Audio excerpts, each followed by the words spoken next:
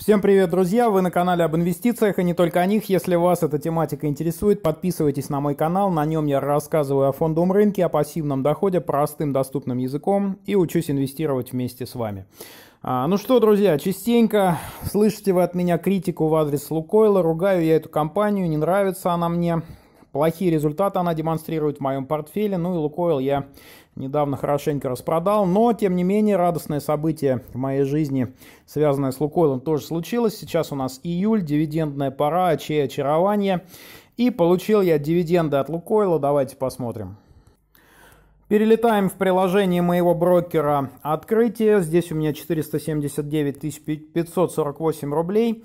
И нажимаем в верхнем левом углу на такой телевизорик. Здесь вся статистика по моему портфелю. И нажимаем на вкладочку «Дивиденды и купоны».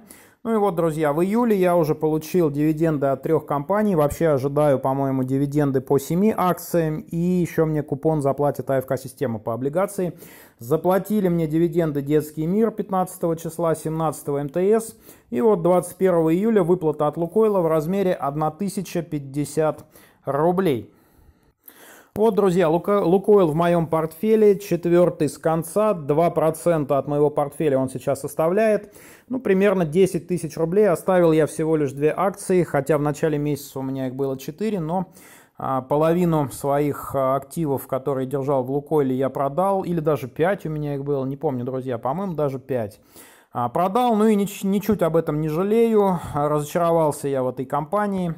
Сейчас я вам покажу, какие результаты по моему портфелю минус 1990 рублей и минус 16%. Понятно, что в Лукойле я пересидел кризис, понятно, что было непросто, но кризис-то закончился, друзья, во всяком случае для фондового рынка. И у меня многие акции ушли уже в хороший плюс. Вон Яндекс, например, там плюс 30 мне дает. А Лукойл минус 16. И пересмотрел я свое отношение к нефтяным активам, к углеводородным активам. Оставил совсем чуть-чуть 10 тысяч Газпрома, 10 тысяч Лукойла. И вполне возможно от них тоже в скором времени избавлюсь. Но я так думаю, сегодня неплохой повод э, покопаться в аналитике по компании. Давайте посмотрим, что про нее знает инвестинг. 4972 рубля стоит одна акция Лукойла, цена-доход по ней 7,45, хороший показатель, дивиденды 7% дивдоходности инвестинг пишет, теханализ краткосрочно за покупку, смотрим прогноз на месяц вперед. На месяц за продажу, друзья. 6 к 6 скользящие и 1 к 6 за активную продажу технические. Вот такие вот, друзья, прогнозы. Теперь перемещаемся в приложение брокера Тинькофф. Здесь тоже можно что-то полезное обнаружить в аналитике. А вот график за неделю плюс 2% всего выросла акция за месяц в минусе на минус 9. Хотя, друзья, рынок-то растет, а вот Лукойлу на все это наплевать. За полгода минус 26%, за год, э, за год э, в ноль даже акция не вышла. По-прежнему минус 4,5%. Общий график хороший, но кризис, конечно, очень сильно котировки обвалил. Причем, вы знаете, что парадоксально? Вот если рассматривать для покупки э, какой-то нефтегаз российский, то мне кажется, если что-то и стоит покупать, хотя мне кажется не стоит, то это Лукойл, потому что Лукойл позиционируется как э, частная нефтяная компания. Ну, у нас как по российскому менталитету, если ты управляешь чем-то своим, то ты относишься к этому более бережно. Это твой, по сути, бизнес. Ну и, в общем-то, наверное, надо признать, что менеджмент Лукойла, наверное, не самый худший менеджмент в России. Хотя вот смотришь на московский «Спартак», порой за голову хватаешься, думаешь, что там Федун творит. Но если сравнивать показатели Лукойла, например, с Роснефтью, Статнефтью, то в целом Лукойл выглядит фаворитом этой отрасли. А, но даже Лукойл, мне кажется, сейчас выглядит не очень перспективно. Одна из крупнейших в мире частных нефтегазовых компаний. Основными сферами деятельности является добыча и переработка нефти и газа. Большая часть углеводородных запасов приходится на месторождение в Западной Сибири. Так, располагает нефтеперерабатывающими заводами сетью, сетью автозаправочных станций в России и США, кстати, интересно входит в состав голубых фишек российского фондового рынка, являясь одной из наиболее ликвидных бумаг на московской бирже. Да, друзья, знаете, продал, как будто щух, как, как муха пролетела моментально. Кому-то они все-таки нужны, так что продать без проблем можно. Компания занимает третье место по капитализации на российском рынке акций. Депозитарные расписки Лукойла торгуются на фондовых рынках Великобритании и Германии, а также на внебиржевых рынках США.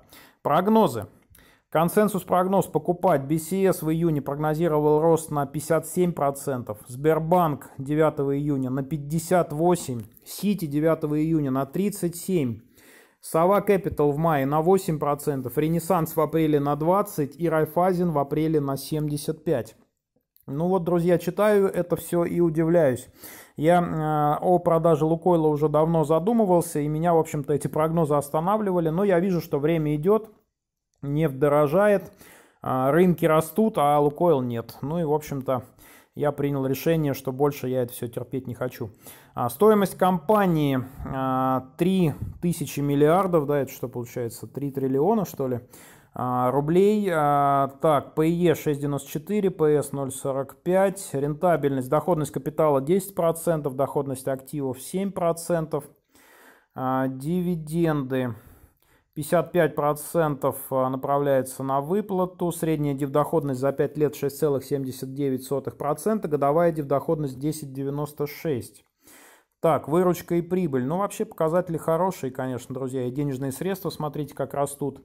Да и дивиденды компания тоже неплохие платит. Вот в 2020 году была та самая выплата, а, которую я вот сейчас получил, 6,88%.